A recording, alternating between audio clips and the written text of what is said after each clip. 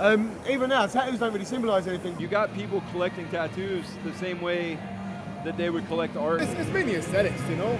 It's almost like fashion these days. David Beckham's got this clouds and angels, and everybody else wants to be exactly the same. I just like it.